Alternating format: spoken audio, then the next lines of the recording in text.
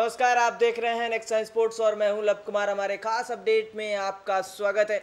IPL 2019 बारहवें season की शुरुआत हो चुकी है और आज सोमवार को चौथा मुकाबला खेला जाएगा। दो बड़ी टीमों के बीच और दो टीमें हैं। Rajasthan Royals versus Kings Eleven Punjab दोनों ही ढाका टीम है अगर पिछले साल के प्रदर्शन पे निगाहें डाले तो किंग्स इलेवन पंजाब प्लेऑफ में जगह नहीं बना पाई थी, लेकिन राजस्थान रॉयल्स ज़रूर प्लेऑफ में अपना जगह बनाई थी। बहुत ही मज़बूत टीम है और आज इन दोनों का पहला मुकाबला खेला जाना, ये मुकाबला जयपुर के सवाई मानसिंह स्टेडियम में खेला जाएगा। और यहाँ पे टॉस हो चुका है, साथ ही टॉस जीता है राजस्थान रॉयल्स की टीम ने और यहाँ पे पहले गेंदबाजी करने का फैसला किया है। और ये फैसला सही है, क्योंकि इस मैदान पर अभी तक 40 मैच खेले जा चुके हैं और 40 में से 14 मैच वो टीम जीती है जो पहले बल्लेबाजी करने उतरी है और 26 मैच वो टीम जीती है जो पहले गेंदबाजी करने उतरी है। और इसी को, इसी आंकड़े को देखते हुए आज राजस्थान रॉयल्स के कैप्टन अजिंक्य रहाणे ने यह फैसला किया, टॉस जीतने के बाद कि वो पहले गेंदबाजी करने उतरेंगे और मैच जीतेंगे। ये तो मैच खत्म होने के बाद पता चलेगा कि वो मैच जीतने में सफल हो पाते हैं कि नहीं। वहीं अगर पिच की बात करें तो पिच पे यहाँ पे घास भी है और क्रैम्प्स भी हैं तो यहाँ पे जो पेसर हैं, इनको फ़ायदा मिलने वाला है। यहाँ पे हार्ड पिच पूरी तरीके से है और रन्स की बात करें तो यहाँ पे आसानी से 160 170 के बीच में रन्स लग सकते हैं।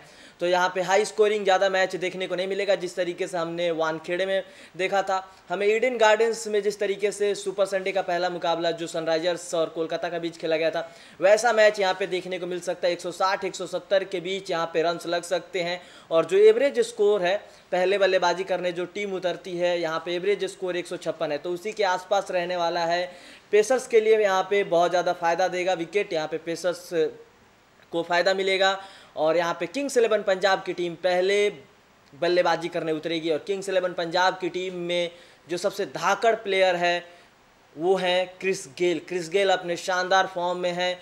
इंग्लैंड के खिलाफ बेहतरीन पारी खेली है, जो वेस्ट इंडीज़ और इंग्लैंड का सीरीज़ था, वहाँ पे बेहतरीन पारी खेली है। क्रिस गेल ने पूरे सीरीज़ के दौरान सबसे अधिक छक्के जड़े क्रिस गिल ने विश्व रिकॉर्ड बना दिया। वहीं अगर किंग्स इलेवन पंजाब की प्लेइंग इलेवन की बात करें तो प्लेइंग इलेवन में जगह मिला है। क्रिस गेल और के राहुल ओपन करने आएँगे। Mayank Agarwal Sarfaraz Khan Nicholas Pooran, Mandeep Singh, Sam Curran Ravichandran Ashwin, captain है मोहम्मद शमी, मुजिबुर रहमान और अंकित राजपूत। ये किंग्स इलेवन पंजाब की प्लेइंग इलेवन है। वहीं राजस्थान रॉयल्स की प्लेइंग इलेवन की बात करें तो अजिंक्य रहाने कैप्टन है, जॉस बटलर विकेट कीपर हैं।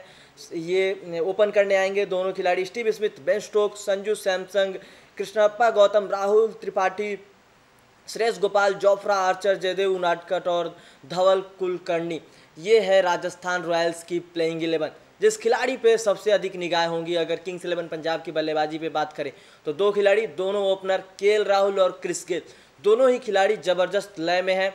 चाहे वो के राहुल हो या क्रिस गेल हो, क्रिस गेल हमेशा छक्के चौकों के लिए जाने जाते हैं, ज़बरदस्त शॉट लगाते हैं और आईपीएल भी छक्कों चौके के लिए जाना जाता है। तो यहाँ पे एक बार फिर से धमाल देखने को मिल सकता है क्रिस गेल के बल्ले से और जिस तरीके से उन्होंने वेस्ट इंडीज़ की तरफ़ से खेलते हुए धमाल मचाया था, इंग्लैंड के खिलाफ जिस तरीके से बल्लेबाजी की थी और उस उस फॉर्म को देखते हुए यहाँ पे लग रहा है कि बेहतरीन तरीके से बल्लेबाजी करेंगे। के राहुल की बात करूँ तो के राहुल भी शानदार लय में हैं।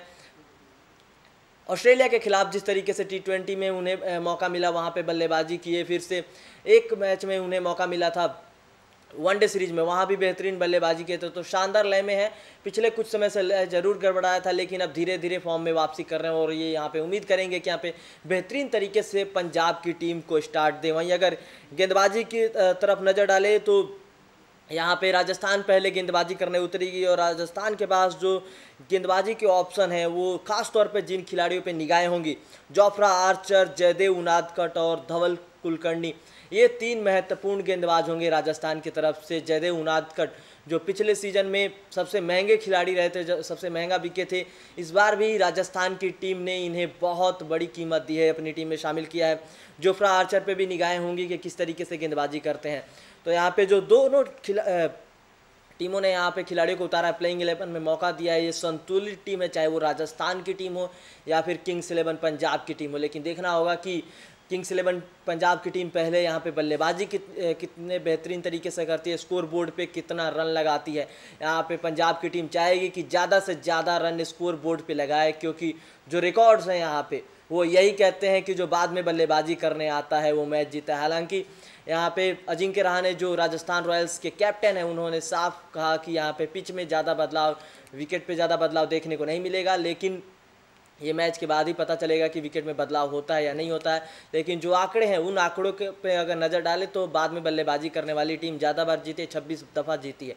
तो मुकाबला दिलचस्प होने वाला है, दोनों ही टीम का ये पहला मुकाबला होगा और देखना होगा कि दोनों टीमें कितनी बेहतरीन तरीके से मुकाबला खेलती है। और किंग्स इलेवन पंजाब की अगर गेंदबाजी की बात करें तो मोहम्मद शमी, मुजीबुर रहमान और अंकित राजपूत, ये सबसे प्रमुख गेंदबाज होंगे। रविचंद्र अश्विन कैप्टन है, उनका साथ मिलेगा इनको। और देखना होगा कि किंग्स इलेवन पंजाब की टीम भी किस तरीके से यहाँ पे गेंदबाजी करती है। एक खिलाड़ी जो खास तौर पे चर्चा का विषय बना रहेगा, वो राजस्थान रॉयल्स के हैं। स्टीव स्मिथ, पिछले सीज़न ये मैच नहीं खेल रहे थे। प्रतिबंध लगा था, एक साल का प्रतिबंध लगा था। अब इस खिलाड़ी की वापसी हुई है। डेविड वार्नर भी मैच नहीं खेल रहे थे और डेविड वार्नर ने कल जिस तरीके से बल्लेबाजी की, पचासी रन बनाए सनराइजर्स के लिए। हालाँकि सनराइजर्स ने मैच ज़रूर गंवा दिया, लेकिन वहाँ पे डेविड वार्नर ने बल्लेबाजी करके दिखा दिया है कि उनकी क्या काबिलियत है। अब स्टीव स्मिथ की बारी है कि वो कितने बेहतरीन तरीके से बल्लेबाजी करते हैं। तो लगातार अपडेट्स के साथ हम बने रहेंगे। फ़िलहाल इस खास अपडेट में इतना ही। आप हमारे नेक्स्ट स्पोर्ट्स को सब्सक्राइब कर लें। नमस्कार। Bye.